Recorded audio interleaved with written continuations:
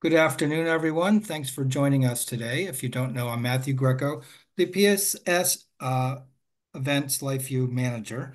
And today we're very lucky to have David Cutner back and Cindy Custer from the firm of Lamson and Cutner.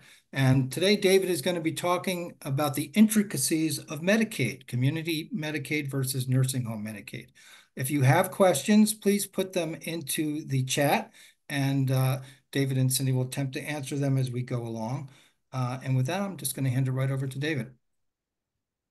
Thank you, Matt, and uh, great to be here again with PSS. And I hope everyone can see my screen okay. Uh, as you can see, as Matt said, we're going to talk about Medicaid, uh, community Medicaid, and nursing home Medicaid. That's our law firm, offices in New York City and in Westchester. So uh, first of all, thank you to PSS again for hosting us uh, with this presentation. So let's jump into it. Um, I think this is a good place to start. Uh, and I have to say, when I saw this statistic for the first time, it shocked me. Uh, it comes from the US Department of Health. Uh, their statistics show that seven out of 10 people over the age of 65 will need some kind of long term care of some kind at some point. And four out of 10 will need nursing home care. And needless to say, long term care is just so expensive, crushingly expensive. Or as our Court of Appeals said, ruinously expensive. Um, we see clients all the time who are spending five, ten, fifteen, even twenty thousand dollars a month on their long-term care. You really need to have a plan uh, to deal with this. Uh, for most people, it's devastating financially. So a lot of people think, and I know this because clients tell me all the time, uh, not to worry, I have Medicare. Well, guess what? Medicare does not cover long term care. It is excellent medical insurance. Uh, doctors, hospitals, uh, PT, OT, uh, everything medical uh, it covers, and uh, it covers rehabilitation. So if you're hospitalized and uh, sent to a rehab center for uh, rehabilitation, uh, which often is in a nursing home, uh, Medicare will cover the rehabilitation for up to 100 days. And a lot of people tend to forget about the up to part of this. Uh, you don't have a right to 100 days. You have a right to up to 100 days. And very often the rehabilitation is much shorter than 100 days. Uh, so that can be a real critical point. You know, you're in the hospital, you're discharged to rehabilitation, and two weeks later, uh, rehab is over, and now uh, you're not able to resume life as before. You need help, you need care. Uh, that's when you're going to start spending money if you don't have a plan. Um, as you can see on this uh, particular slide, uh, if you have um, traditional Medicare, which would be uh, Part B, uh, you may want to have and probably will want to have uh, a supplement plan or so-called Medigap plan, a plan that would cover your uh, co-pays and uh, and at least part of your prescription drugs. So we need to ask this question: Who pays for long-term care? Uh, obviously, private pay, you can pay for it yourself. Uh, you don't want to, and for most people, you can't really afford to uh, and you don't want to impose that burden on your children, although very often uh, children and other members of the family are trying to pick up the slack there and and help to pay for it. Uh, there is long-term care insurance. Uh, most people don't have it. Uh, I think I saw a statistic that for those over 65, less than 3%, less than 3% of the population uh, has long-term care insurance. Um, if you are thinking about long-term care insurance or if you already have it, uh, you do want to pay attention, close attention to the terms of the policy. Um, usually you have an initial exclusion period. So the first 90 days or the first 120 days uh, after you file a claim, uh, that's private pay. The insurance company isn't going to cover it if you have a 90 day exclusion or some other exclusion period. And then the daily benefit is really critical. Uh, I see all too often people who have a long-term care insurance policy and they think they're covered and everything's fine, but the daily benefit is only $100 or $150. Well, that's okay, I guess, if all you ever need is three or four hours of home care. But what if you need eight or 10 or 12 hours or 24 hours of home care? What if you need assisted living care? Or what if you need nursing home care? Uh, because we could be talking about a daily expense of $500, for example. So what do you do if you have $100 or $150 of insurance and a $500 actual cost? Where is the rest of the money coming from? If the answer is, all too often, oh gosh, I guess I'll have to take some money out of savings, you know, that's not a good answer. The insurance is really not serving the function that it's supposed to and that you hoped it would, which is to protect your savings and your assets. So uh, again, want to be careful. It's not to say it's not a good product if you can afford it and if you can get it, uh, but we really need to pay attention to the terms of the policy. There's also a, typically a lifetime maximum.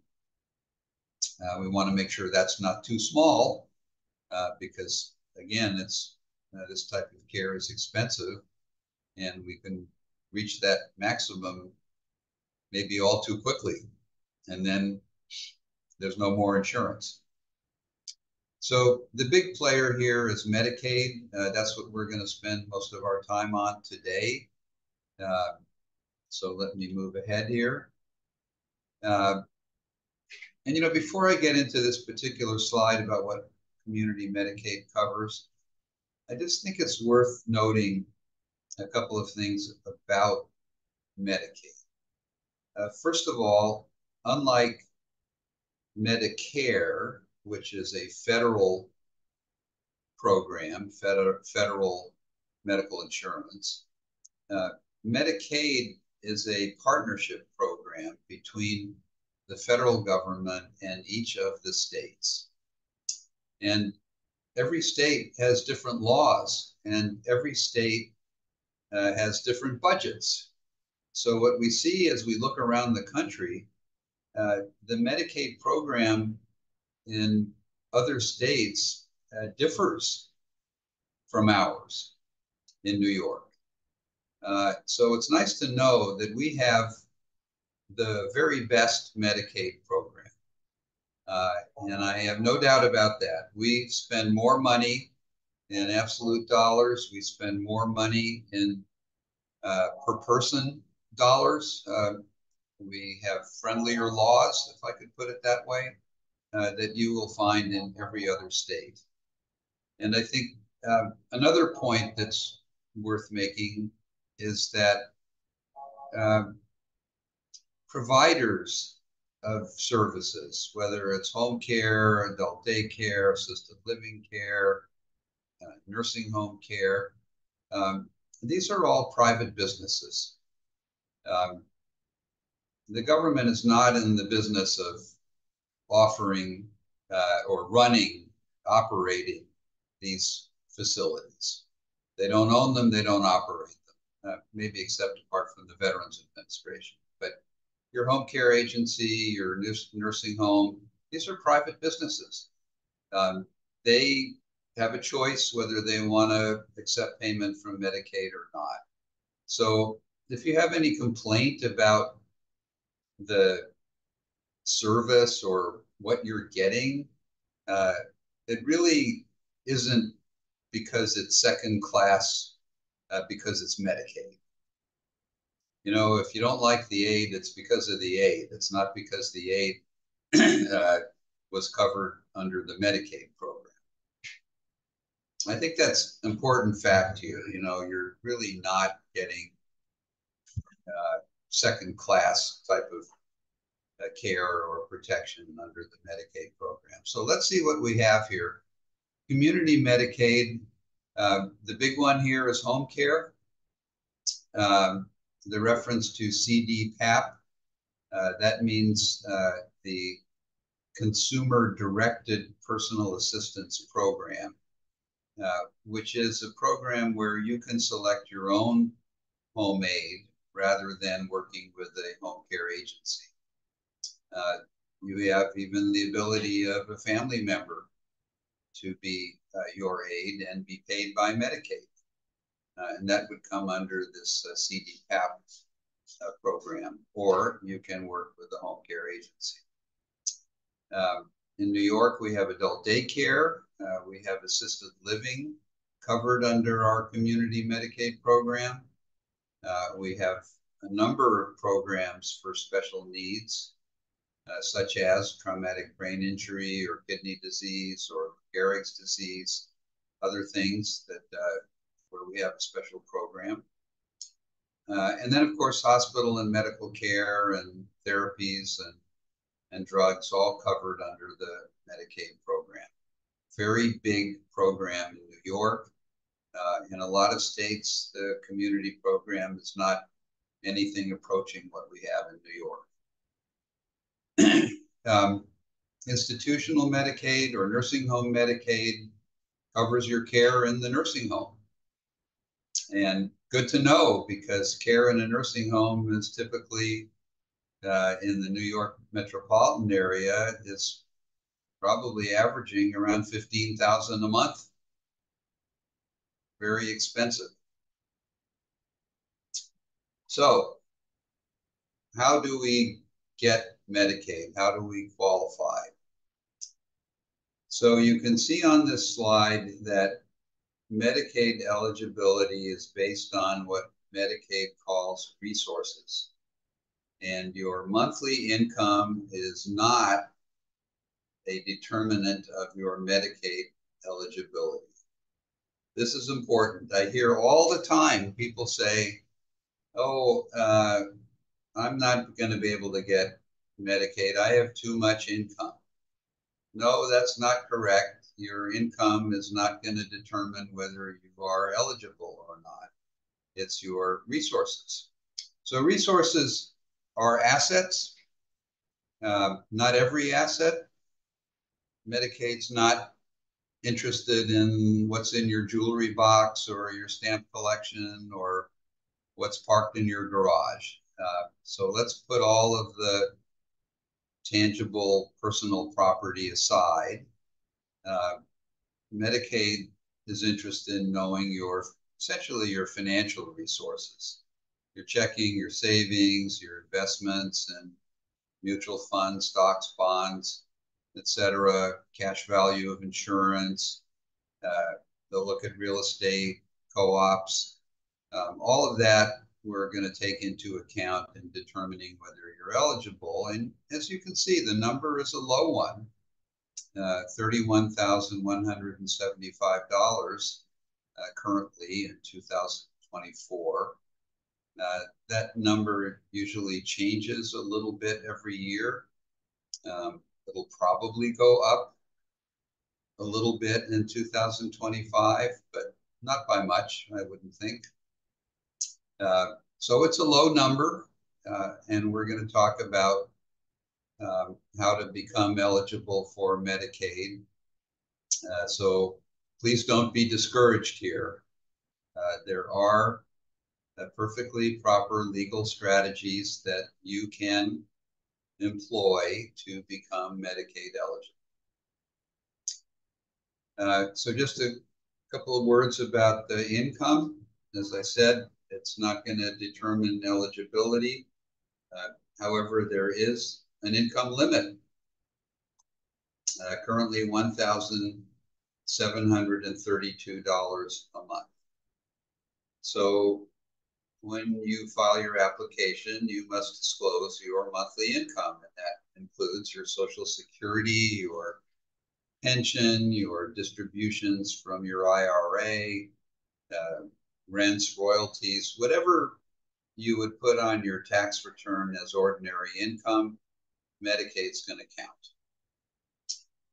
So the good news here is you can protect your monthly income. I mean, you can contribute it to the cost of your care. That's one of your options. I think most people don't want to do that. They need their monthly income to pay their rent or their mortgage or their co-op maintenance.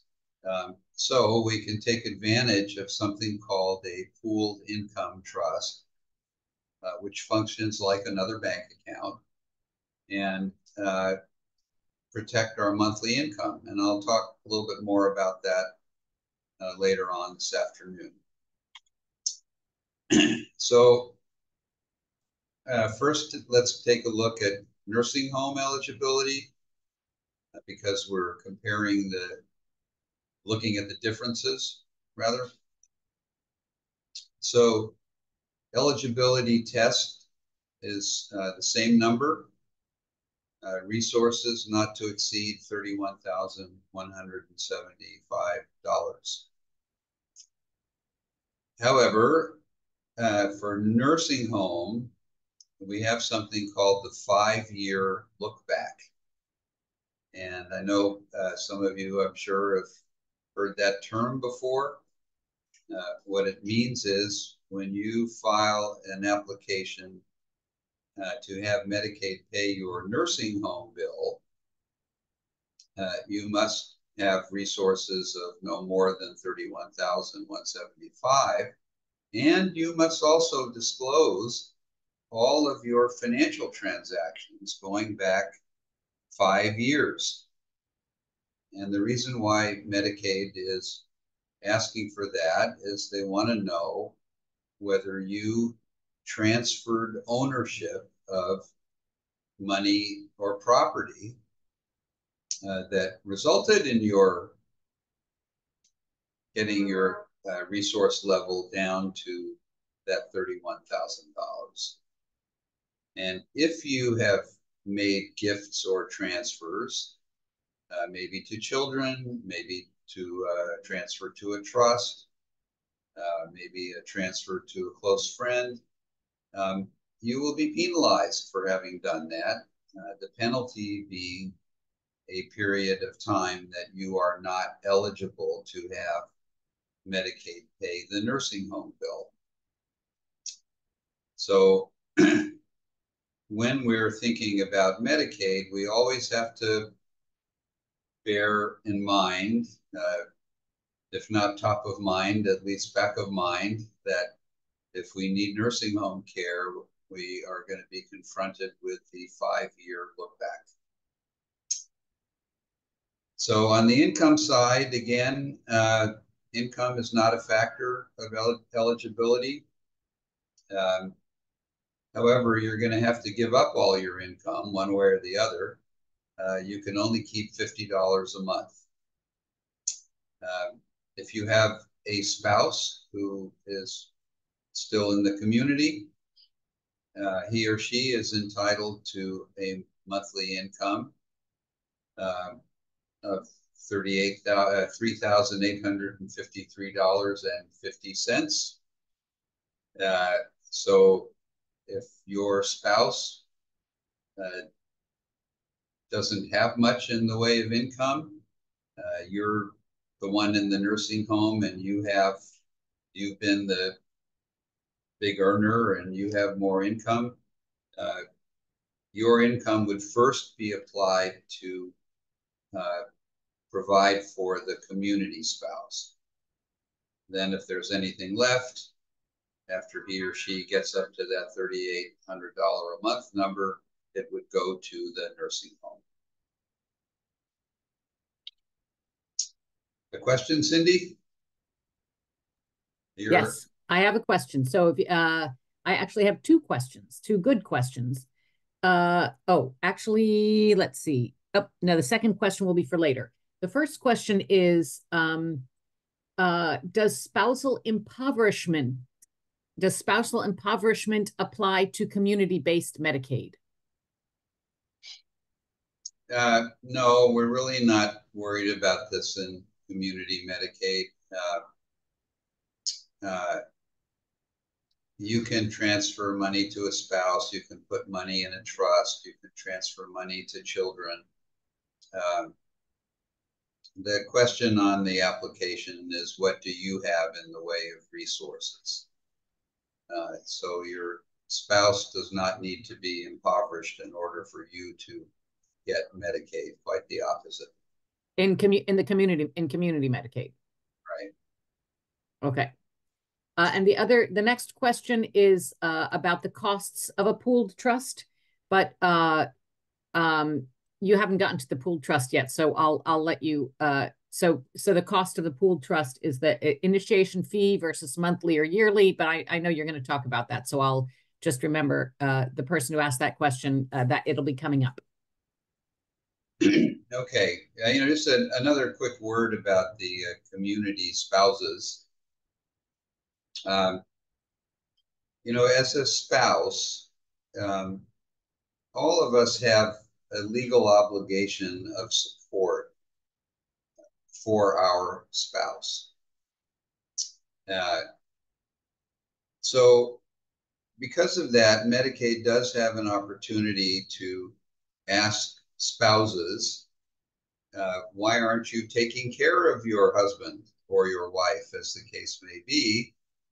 Uh, and if Medicaid is paying for them, uh, Medicaid does have a right to come back uh, to the well spouse and ask for reimbursement of Medicaid's expenses.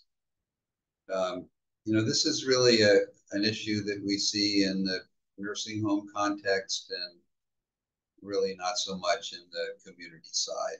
Just wanted to put that out there. All right. and so I'd already mentioned the look back. Um,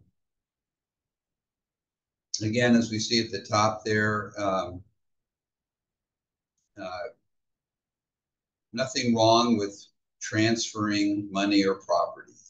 It's not illegal, it's not improper, it's not unethical. Uh, Medicaid has never made such a claim. Um, it's New York law. New York law has been this way for decades. Right on the community side, uh, we have never had a look back. Uh, the question has always been, what are your assets, your resources at the time you're filing the application? There's no inquiry uh, into what you may have done a month or two or a year or however long prior to your application.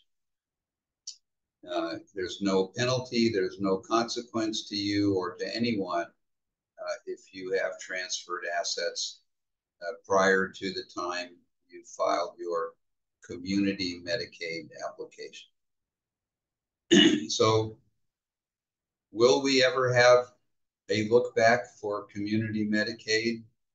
Uh, we don't know. Uh, there was a 30 month look back that was enacted by our legislature back in the year 2000. Uh, it's never been implemented. Uh, it's been delayed several times. Uh, the last delay took us into 2025. Uh, I think it's anybody's guess uh, whether it will be implemented in 2025. Uh, my own personal guess is that it will not be implemented, but I don't know. I guess I could be wrong. It just doesn't seem very likely to me. We've never had one before. It would be uh, a tremendous uh, amount of work for Medicaid to be able to do it, just in terms of staffing and training and so on. It just doesn't look very likely to me, but we'll see. Um, on the nursing home side, though, we do have this five-year look back that I've already uh, explained. If uh, we make transfers of money and property, uh, we may be subject to a period of ineligibility. Um, and one other uh, part of the Medicaid program I wanted to mention here is the so-called NHTD program, which stands for Nursing Home Transition Diversion. And the idea of this program is to try to help people stay home who want to stay home, uh, even if they qualify and maybe should be in a nursing home.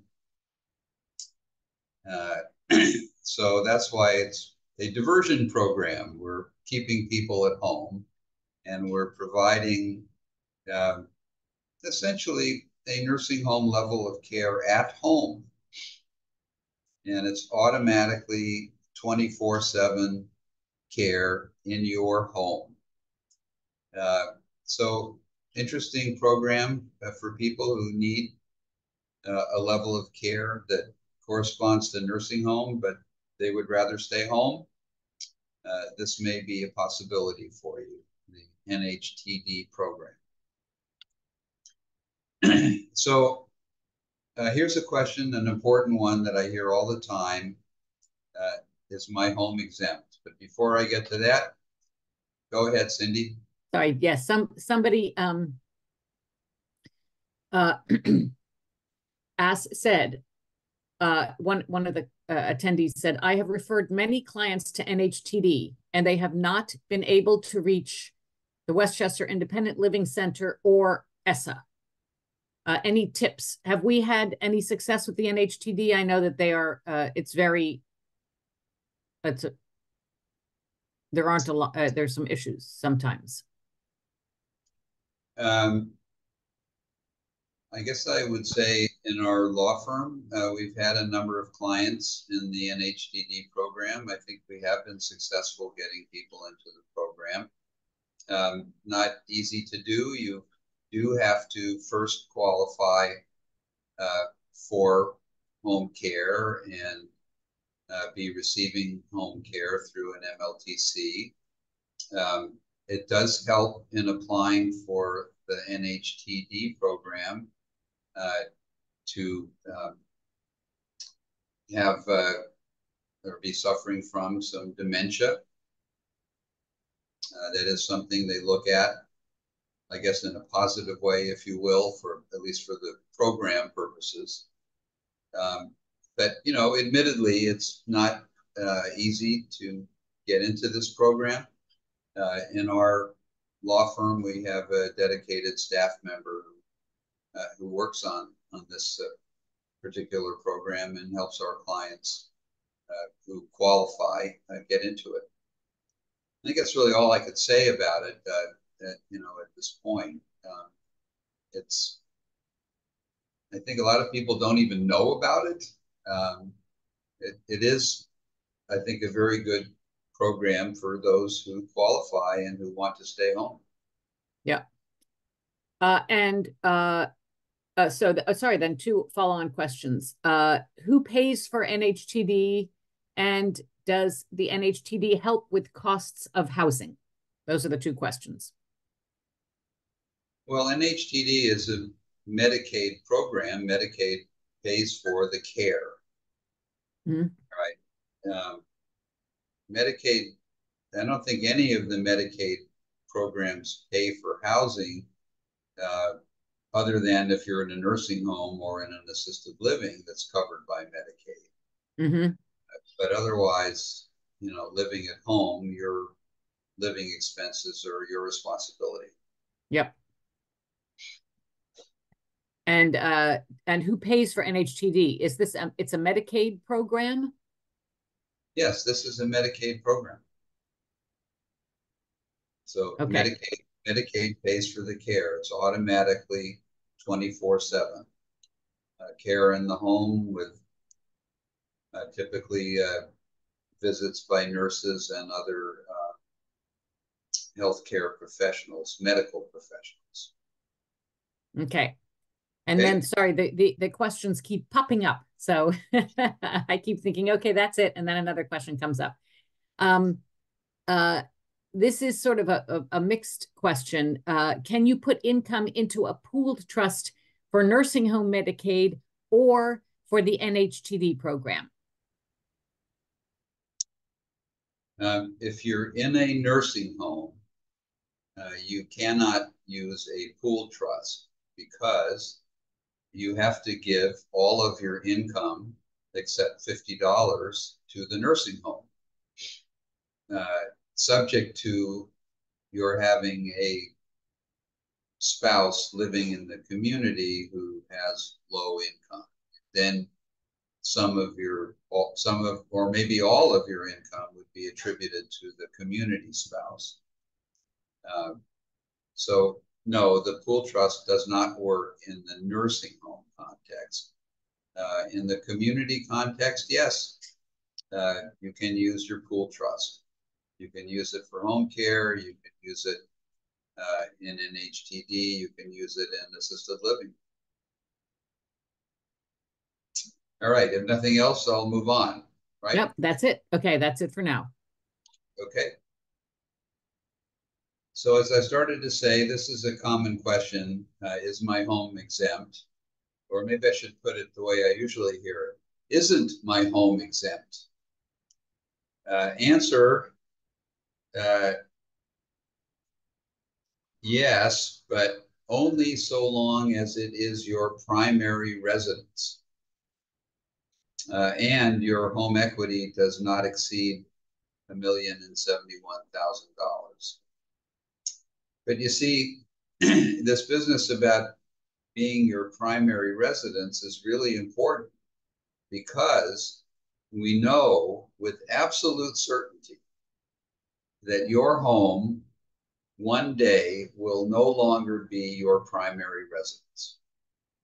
Why? Because we know one day uh, you'll maybe move into an assisted living, you may move into a nursing home, you may move in with your children, you may pass on. So any of these things happen, your home is no longer your primary residence. And when that happens, I'm not going to say if that happens because there's no if here. It's when that happens.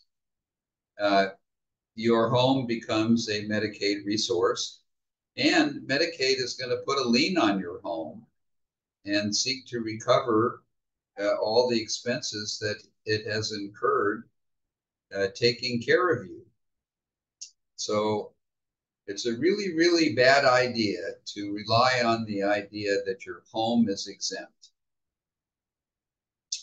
Uh, for all of our clients who are applying for Medicaid or thinking about applying for Medicaid or preparing for the eventuality that they might apply for Medicaid, let's get the home out of your name. Right. Uh, you really want to protect it because you know if you leave it in your name, uh, one day it's there's going to be a problem when it's no longer your primary residence. So, how do we become eligible for Medicaid? Uh, well, one thought that pretty much occurs to everybody is why not just transfer my money, my property to my children? Uh, I was planning to leave it to them anyway, so we'll just give it to them a little bit earlier. Well, there are risks here in doing that. And it's not to say you can't do it. It does work for Medicaid. It is a transfer. It does get the money and property out of your name, but if you do it, you want to be aware of the risks. Um, obviously, there's a risk of misuse of your money because once you transfer your money to a child or a niece or nephew or a sibling, it's their money. So they can spend it any way they want to. If you do this, you're doing it with the idea that they're going to hold on to your money and use it for your benefit, but they don't have to. But look, let's put that issue aside. I think a lot of people would say, well, you know, I trust my son or my daughter or both of them implicitly. I don't have any concern about that. I know they're going to do the right thing. Okay, let's accept that idea, and probably with good reason in most cases. Uh, but we have other risks here that uh, are really impossible to calculate or quantify. Uh, what if your child or your niece or nephew or whoever it is that you've transferred your money to uh, should have an accident or an illness and predecease you? Now your money is in their estate. Uh, what if they're married and they get divorced? Your money could be tied up in the divorce.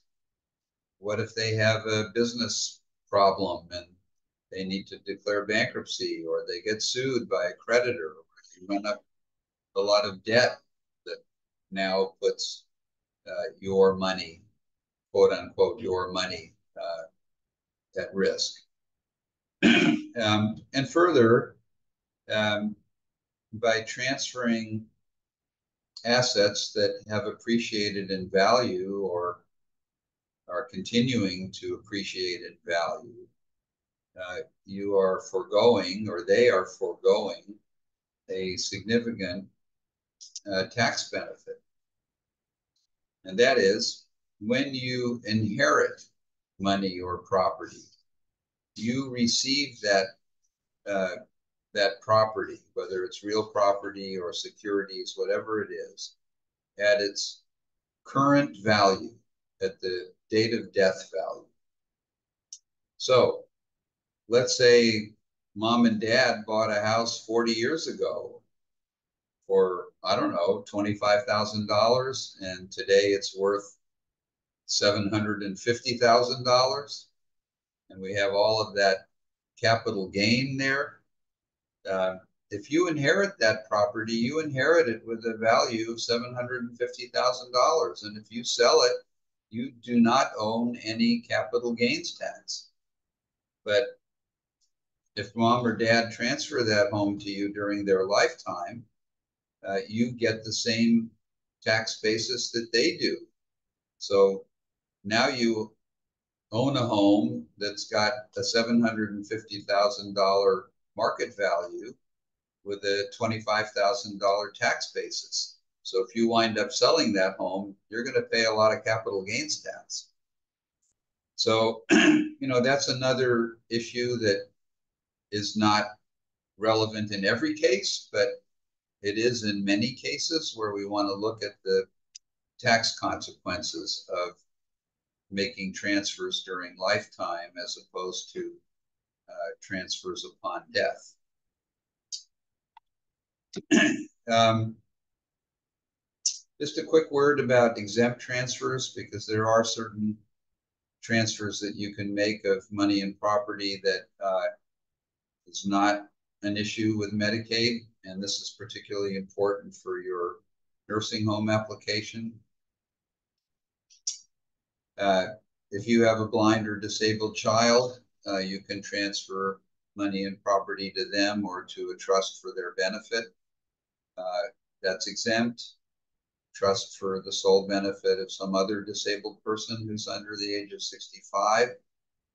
Um, I've already talked about the spousal transfers, which are also exempt. um, transfer of your home to a caregiver child who's been living with you or transfer to a sibling uh, who has an equity interest in the home. So before we do anything in a case where we're looking for Medicaid, we are going to look at these uh, the possibility of an exempt transfer. You know, obviously, in many cases, most cases, uh, we don't have the ability to do this, but when we do, it's can be a very, very good thing. Okay, so Cindy, you have another question? Yes.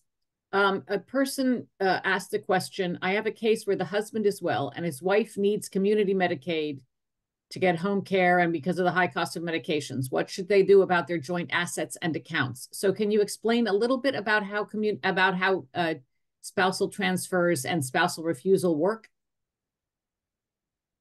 Yeah, well, in that circumstance, unless we're anticipating, um, you know, nursing home in the short term, um, I'd probably think about a solution other than a spousal transfer.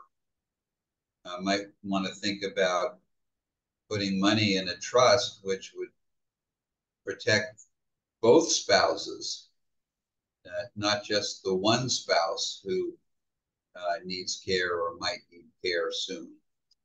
So every case is different, you know, every uh, case calls for its own solution. There's no kind of one size fits all here. But, you know, we have a lot more options in the community side than we do in the nursing home side because of the five-year look back. So when we're looking to establish liability, uh, sorry, eligibility for uh, Medicaid, community Medicaid, we have a lot of options, you know, and we can consider spousal transfers. We can consider spouses to uh, transfers to children or other family members, and we consider can consider trusts. And I think oftentimes uh, the trust may be the best answer because uh, it would protect both spouses uh, and solve a lot of, lot of other things at the same time. Okay, thank you. All right. So this does get me to uh, the irrevocable trust. Uh, sometimes you'll hear it referred to as a Medicaid trust. Uh, we're talking about the same thing here. Uh, this is uh, a trust, a vehicle that uh, is extensively used in elder law practice to protect people's savings and money and property, uh, and at the same time, uh, put them in a position to uh, apply for and be eligible for uh, these generous Medicaid benefits. Uh, it will also contain their estate plan. Uh, so there's no probate, there's no court proceeding when you pass on, uh, the assets are simply distributed directly from the trust without anybody having to go to court. Uh, and uh, beneficiaries get that nice uh, tax benefit that avoids capital gains tax. Um, I think that uh, this solution, the irrevocable trust, is probably the best one uh, that we have. Um, it's sometimes not appealing to some clients because uh, you do have to give up control. Uh, if you have this type of trust, you cannot be the trustee. You cannot be in charge of the trust. Uh, you cannot have uh, any direct access to the assets in the trust because if you did have access, if the trust assets were available to you, then Medicaid would count those assets as your resources.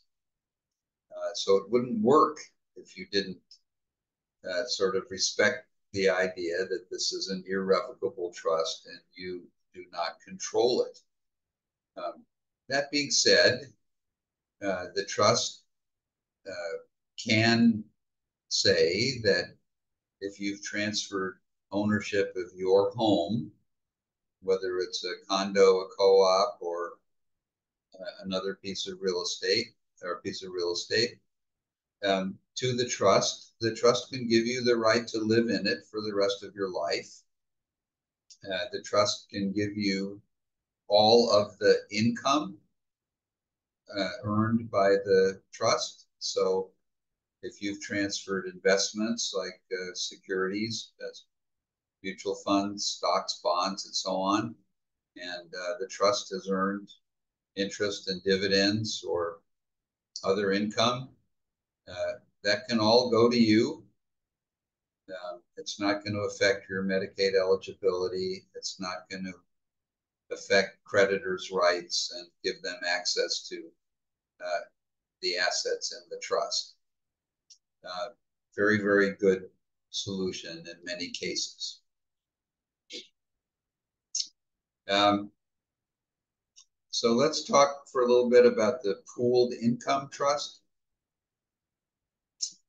And we don't want to confuse the pooled income trust with the trust I was just talking about.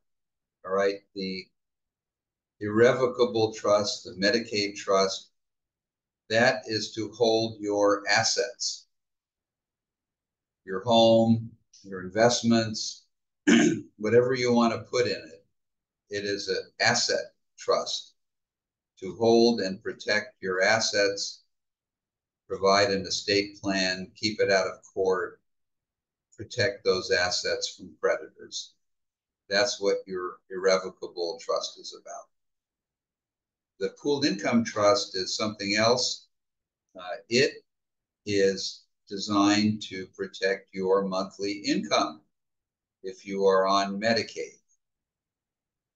So in the Medicaid world, if your monthly income, counting your Social Security, your pension, your retirement benefits, anything else that you receive, uh, if your monthly income is more than $1,732 a month, you have what Medicaid calls surplus income.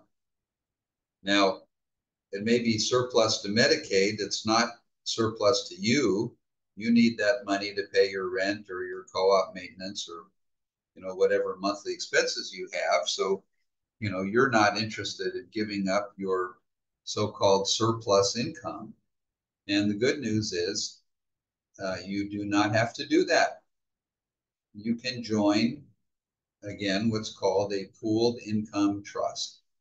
So this is essentially another bank account where you deposit your surplus income and that money is available to you to spend uh, for your needs and really anything that you want. And the one main restriction here on the pooled income trust is the money can only be spent on you. So you cannot pay your grandchildren's uh, school tuition. You can't uh, give money to your children or even to charity. Uh, it, the money in a pooled income trust can only be spent on you. and the other thing about it is you cannot, or you should not rather, you should not regard it as a savings account because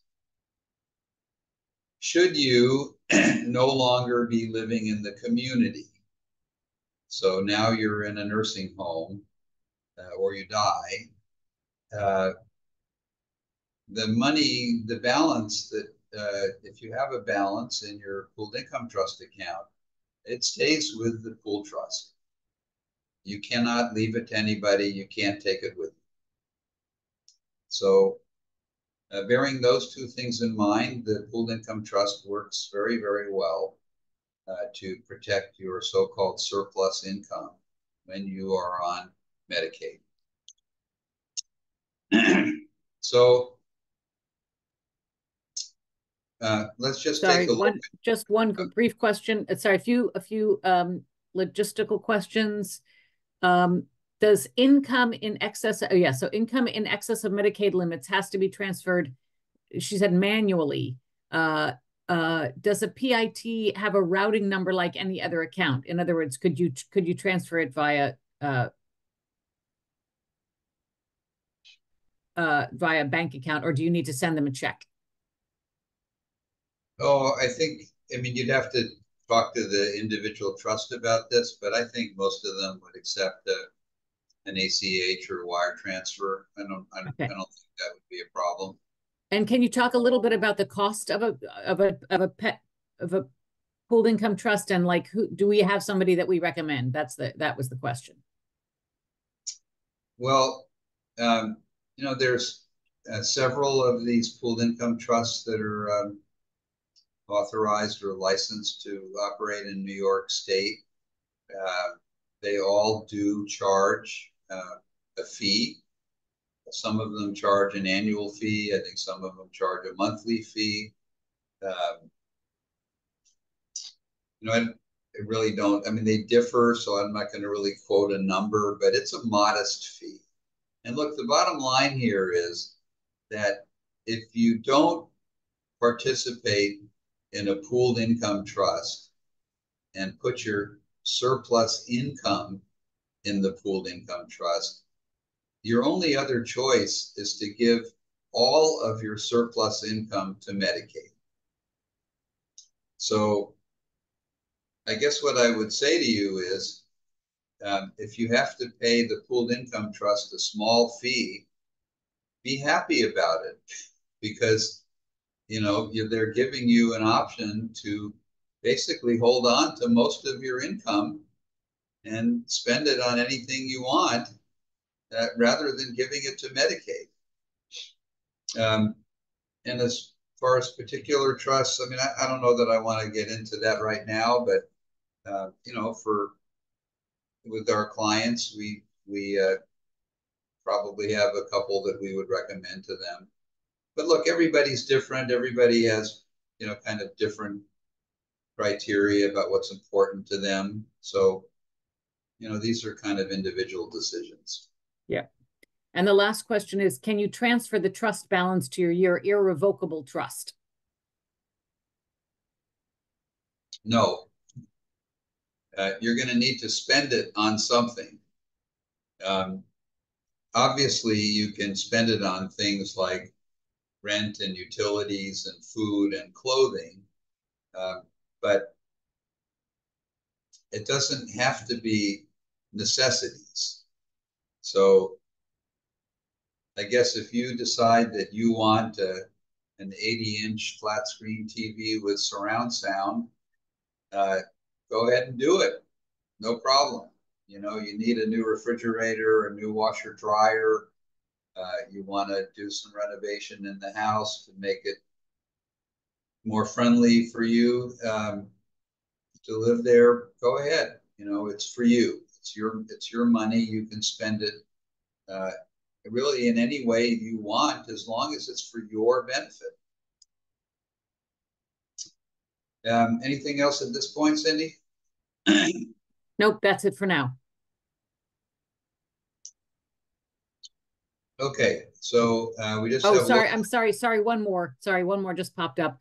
Are, uh, with an irrevocable trust, are there fees the same way there are with a, a pooled income trust? I'm sorry, are there what? Are there fees similar to a pooled income trust with an irrevocable trust? I'm just either not hearing this correctly or not understanding. Are there? So in other words, a pooled income trust charges you a fee because they're doing, Oh, they're, they're helping you Oh, with sorry. transaction, a fee, a fee, yes, Okay, so I misheard that. Are there fees? yes. Well, and not in the same way. You know, with your pool trust, you're going to pay a monthly fee or an annual fee to the um, organization uh, that is operating the pool trust. With your irrevocable asset protection trust, your Medicaid trust, uh, you're typically going to pay a fee to a law firm for creating it for you. And after that, uh, you are going to have to file tax returns, uh, which are really very simple returns because typically the irrevocable trust does not pay any income tax. And so it's a pretty simple tax return. Uh, and you may need to pay your trustee or trustees uh, some compensation. Um, so, you know, that depends. If it's a family member, they're typically not taking compensation. Um, if you've employed a professional trustee, they're obviously going to want to be paid. Um, even family members, they're legally entitled to compensation. Uh, many of them don't take it, but uh, so that would be the the things that would, I guess I would say, are in the fee category.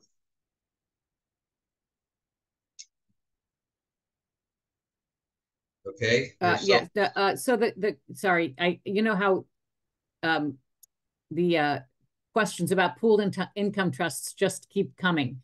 Uh, what you know what? Uh, uh, can you just review one more time that do you send do you just send the pooled income trust enough money to cover the month's expenses? Just explain that again. And no, and the pooled income trust can be done. You can join a pooled income trust right away when applying for community Medicaid since there is no look back. Can you confirm that? Yes, the time to to join a pooled income trust is when you are applying for community Medicaid. Okay. That's when you uh, do it. There's no reason right. to have one bef- before that. Uh, and there's no reason to have one if you're in a nursing home because you can't use it if you're in a nursing home. Right. So it is specifically for people who are on community Medicaid. Right. And the um so uh, the person said for the pooled income trust, you do you send them just enough money to cover the month's expenses? No, you have to send them your surplus income, whatever right. that number is. So right now, the income limit is $1,732. So that's the amount that you can keep in your own bank account and you can spend that money any way you please. So if you want to buy a gift for your grandchildren or pay part of their school tuition or do whatever you want, you can do it with that money. So all the rest of your income must go into the pooled income trust account. And that money can only be spent on you. So just to put this in concrete terms, let's just say with your Social Security, your pension, your distributions from your 401k or your IRA, you have $3,732 a month in income. so if that's your case, and this is just a hypothetical example, you have $2,000 of surplus income. So that amount would need to be deposited each month in your pooled income trust. Okay, good. All right. On onward and upward. Okay, onward. So you've submitted a community Medicaid application uh, you've waited two or three months or maybe four months. It's been approved. Uh, you have a Medicaid number. You're on Medicaid. However, you don't have any care yet. Nothing's happened. Well, you're going to need to uh, get evaluated and enrolled in a managed long-term care plan, an MLTC. Uh, you're going to need to hire uh, caregivers through a home care agency or through the CDPAP program that we already discussed. Um, if you're thinking about assisted living, you need to find uh, one that you're happy with and, and one that accepts Medicaid. Uh, and if you've done uh, all of that on the home care side and uh, you really need a nursing home level of care, at that point you can start uh, looking to the NHTD program. So there's still a number of steps to go through um, after you get your Medicaid approval. Uh, again, there are different evaluations that are needed in order to get you into the home care program. Um, and, you know, when these evaluations occur, it's good to have um, uh, an advocate there. Uh, might be family member or um, our law firm also provides that type of assistance um, with our director of client care and advocacy.